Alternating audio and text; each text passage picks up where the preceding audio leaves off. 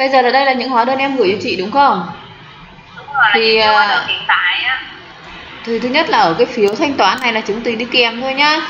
À dạ. Thì thôi nhá cái chứng từ thanh phiếu thanh toán này thì bỏ qua để vậy nhưng mà cái mình chỉ biết sao không? giống như cái chứng từ cái ờ, cái cái đầu tiên em gửi cho chị là cái phiếu thanh toán á là những cái kiện gỗ mà em nhập á là cái hàng mà gỗ thông có được cho mình khi mà mình thanh à, có nghĩa là cái đấy là cái chứng từ để ờ, xác nhận là chưa thanh toán đúng không? Đúng rồi nhưng mà ý là bây giờ cái đó là mình phải nhập cái ờ, gọi là gì ta? Cái nhiệt liệu á. Ừ. Ờ, không cái đấy là chị, ờ, trong thôi được rồi cái đấy để chứng từ cái bỏ qua đi. Bây giờ để chị hướng dẫn về hóa đơn rồi em sẽ hiểu tại sao chị để bảo cái cái chứng từ đấy là mình sẽ bỏ qua mà mình chỉ liên quan đến cái vấn đề hạch toán hóa đơn là thanh toán ngay hay là chưa thanh toán thôi nhá. Còn chứng từ thanh toán chỉ là chứng từ kèm theo. Khi em gửi cho chị thì không cần gửi những cái đấy. Những cái đấy để là mình ờ, ờ, kèm theo cái bộ hồ sơ sổ sách thôi dạ về cơ bản là mình sẽ hạch toán hóa đơn còn hồ sơ như thế nào thì đến khi mà em kết thúc khóa học đấy thì À. à, chị sẽ hướng dẫn cho em về các cái nội dung là như là cách sắp xếp chứng từ này cách kẹp logic chứng từ đầu vào đầu ra này nhá dạ ừ Dạ. nên là thống nhất là khi học là em sẽ gửi cho chị toàn bộ nội dung hóa đơn được chưa dạ dạ thế thì trong cái hóa đơn mà em gửi cho chị ở đây ấy, thì nó có hóa đơn nội dung là gia công dán này đúng không. Gia công dán tức là bên em à, sản xuất ra cái sản phẩm hoàn thành. Sau đó thì mình sẽ mang cái sản phẩm đó đi dán lại đúng không? Để tạo nên cái sản cái này là phẩm hoàn cái chỉnh. này là mình mua dán mua dán từ bên ngoài luôn chị. À tức là mình mua về mình tự dán à?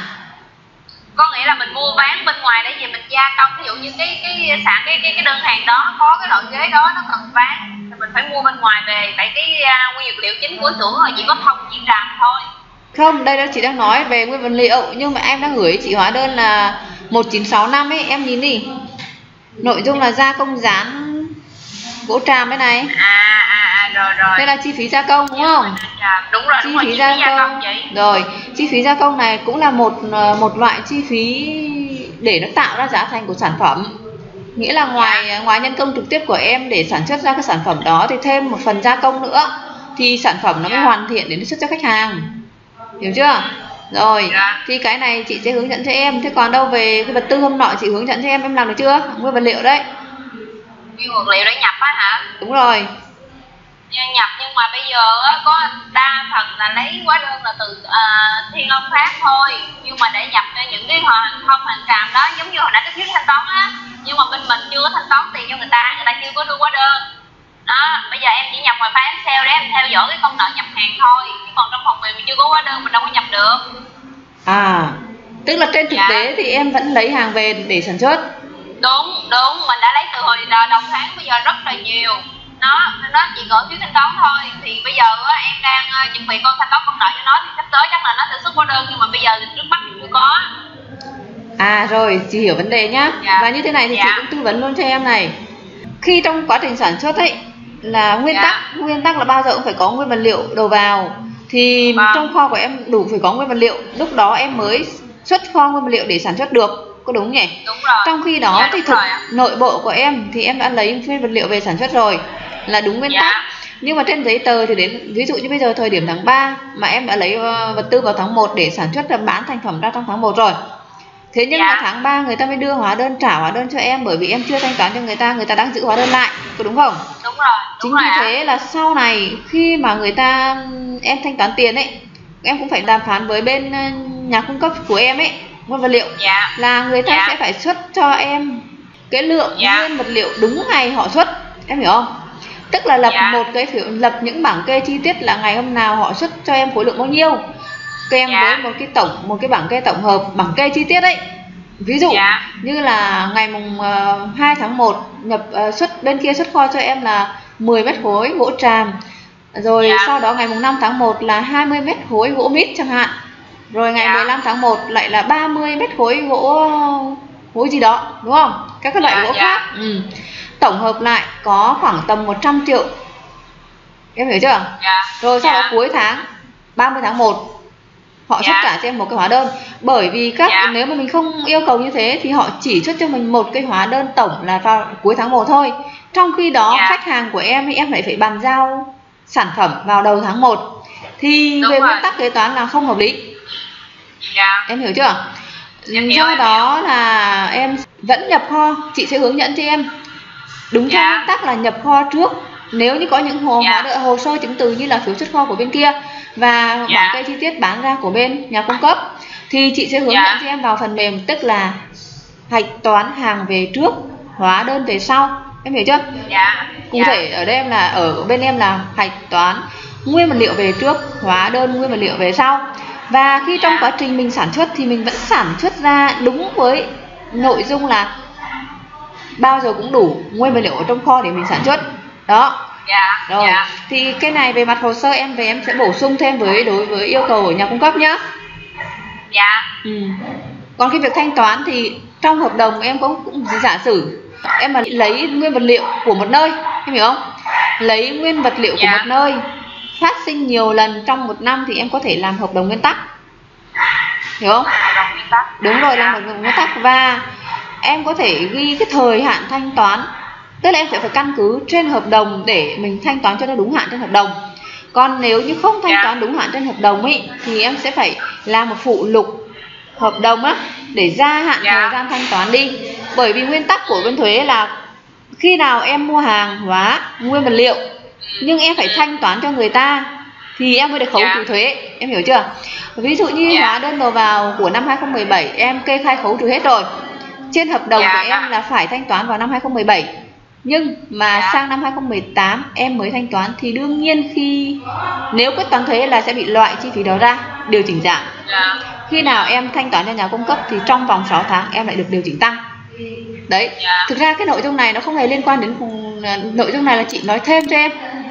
Em hiểu. Để em hiểu về cái luật thuế một chút nhá.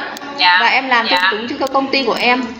Thế thì quay về những cái hóa đơn của em ở đây thì toàn là hóa đơn chi phí đúng không Dạ. đơn chi phí. Như là viết gen này là vật tư hay là vật tư này? Đúng rồi. Ờ. chị mà biết sao không? Cái à, bây giờ hóa đơn mà em xuất cho mấy cái đơn hàng từ tháng 1 tới giờ cho khách hàng á là doanh thu nhiều lắm.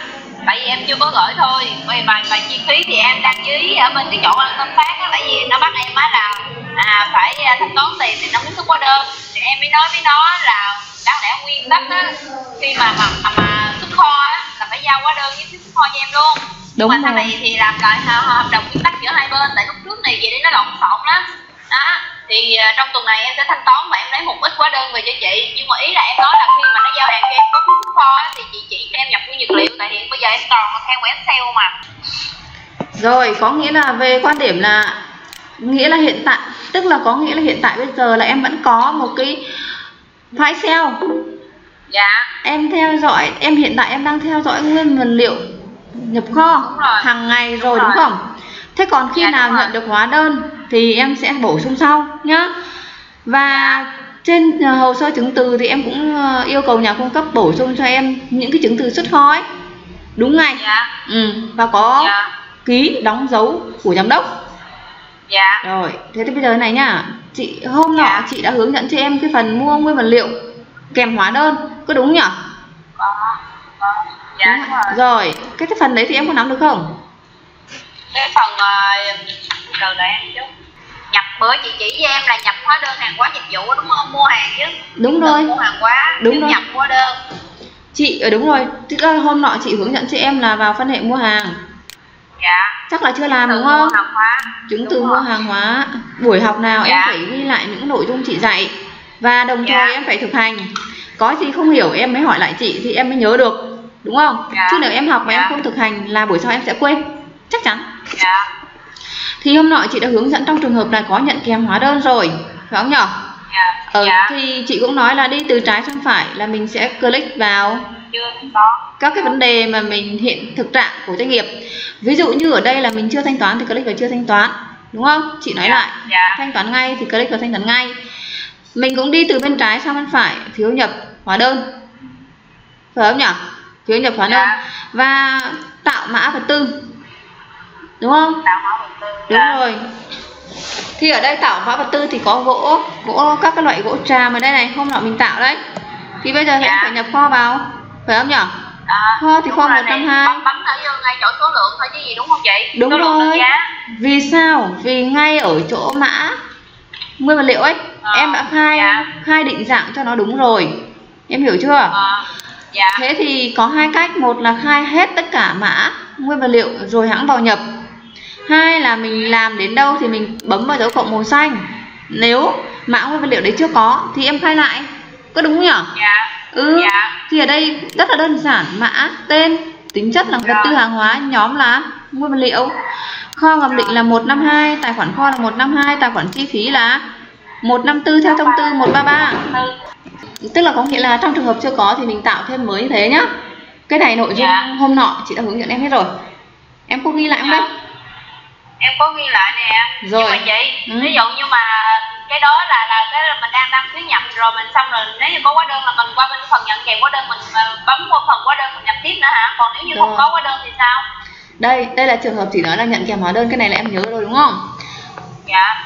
Rồi cái này em thực hiện cho chị thế còn trường hợp mà của em bây giờ ấy em mở file Excel của em ra đấy. Dạ. Em sẽ làm thế này. Em vào phần mua hàng. Chứng từ mua hàng hóa. Rồi. Cũng chọn một nhỏ mua hàng trong nước nhập kho. Dạ. Rồi nhưng ở đây là bình thường là nhận kèm hóa đơn. Còn bây giờ em sẽ chọn cho chị là không kèm hóa đơn. Về về hóa đơn. Đúng. Rồi. đây là không kèm hóa đơn nhá. Dạ. Nhà cung cấp em sẽ chọn là nhà cung cấp đã có đúng không? Ừ. nếu chưa có thì em click dấu dấu cộng màu xanh hoặc bấm F9 trên bàn phím để thêm mới đúng không nhỉ? Ừ. chị ví dụ như hồng Dạ. nghi thì em phải để là đặt là hồng nghi còn đặt như thế này sẽ không rất là khó lọc sau này. Mà nếu như đã em mà tự nhiên em lọc mà em không kỹ tính em lọc em không thấy em lại tạo thêm một cái nhà cung cấp mới nữa. Nghĩa là một nhà cung cấp mà có hai mã đương nhiên công nợ cuối kỳ của em sẽ sai. Đúng không? Chính xác không nhỉ do đó là Dạ. phải rồi kể cả nhà khách hàng cũng thế. Mình tạo một khách hàng mà làm hai cái mã thì đương nhiên công nợ nó sẽ bị sai bởi vì nguyên tắc của công nợ là không được bù trừ công nợ cho nhau. Em hiểu không? Không được bù Dạ. trừ công nợ cho nhau. Nó có số dư bên nợ và bên có. Nên là cái việc tạo mã khách hàng này nó đơn giản nhưng nó rất là quan trọng. Rồi thế thì ở đây là nhớ cho chị là không kèm hóa đơn nhá thế ví dụ Dạ. như ở đây em cũng sẽ chọn là nguyên vật liệu số lượng là 10 đơn giá 200 hai nhỏ ở đây gỗ thông chẳng hạn như thế. Đơn vị là số lượng 20.000 đơn giá là 100 đ- đồng chẳng hạn. Thì ở đây mình chỉ nhập hàng tiền thôi vì là không Dạ. kèm hóa đơn. Và ngày giả sử như ngày 0201 2018 đây thời điểm này là thời điểm em nhập hàng được chưa còn sau đó chị sẽ cất đây. Tương tự như thế thì em sẽ nhập thêm một vài cái nữa. Ví dụ như là có 10 cái ngày mùng 2, mùng 5, mùng 7 rồi mùng 10 đến 30 nhá. Em nhập tương tự như thế này và không kèm hóa đơn.